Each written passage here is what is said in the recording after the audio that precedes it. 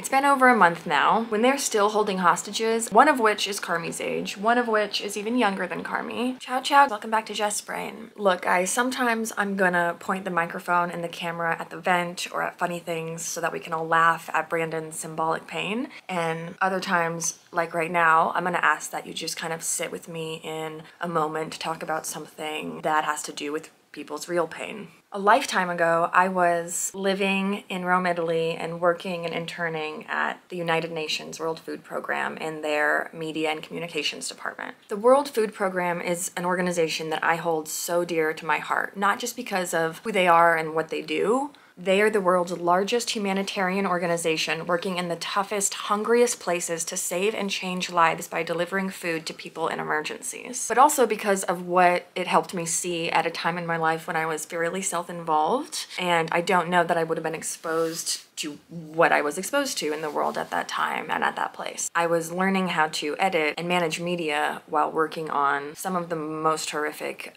images I had ever seen, real life nightmares coming out of the Congo or natural disaster after natural disaster. And the teams that I worked with at WFP at that time, still to this day, are some of the best in the industry. And whenever something atrocious happens anywhere in the world, oftentimes that team that I worked with at WFP are the first people that I'm thinking of because I know that what they're looking at through the lens of their camera and getting out there into the world, packaging to news releases and all these things so that the main media outlets can get these images, I know that what they're seeing through those lenses is way worse than what I'm seeing on my phone as I'm scrolling. And that is bad. So over a month ago on October 7th, after I had put Carmi to bed, it was late at night here in Denver, I started seeing some of the news notifications of the horrifying surprise attack that led to many of the hostages. And in the following days, what continued to unfold was horrifying. It's been over a month now. It seems like it's getting worse. When they're still holding hostages, one of which is Carmi's age, one of which is even younger than Carmi, when they're still bombing hospitals, bombing maternity wards, delivery units, cutting off power and generators to hospital, leaving newborn babies and incubators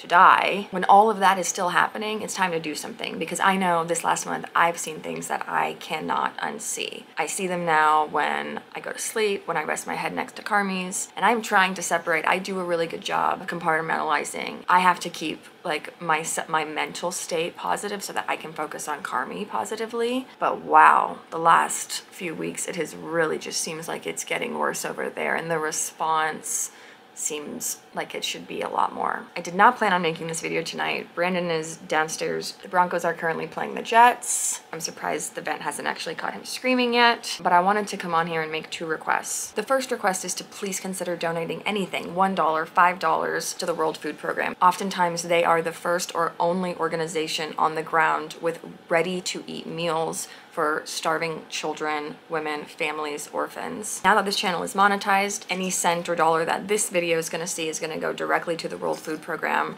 And I would love, I would really encourage anyone out there, if you can, if you have a dollar, $5, $10, please consider giving it to the World Food Program. The second request I have for you is to go into your app store and download the Five Calls app. This is incredibly easy and we're gonna do it together now. I'm gonna show you. We're gonna go in. I wouldn't be on here talking about this if it wasn't weighing on me so heavily. And I did not really plan on filming this video tonight, but I started writing out some thoughts earlier and I know that more of you guys sometimes watch the videos around football games, so I'm hoping this will catch a little traction and um, I can't even imagine. Mommy, can you get me more chips? Yeah, I will get you more chips.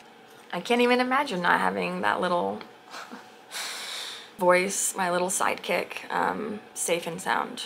And I know that probably a lot of you are fathers or will be fathers one day. And I also want to reach out to you guys and say, like, this is not just a crisis that women should be paying attention to. We should all be very concerned for the level of humanity, the lack of humanity that is happening. The link to donate to the World Food Program is going to be pinned at the comment um, at the top of this. It'll be in my description. The link to download the Five Calls app will also be down there. Follow me on Instagram, keep up with me on Twitter. I really appreciate everyone being so welcoming.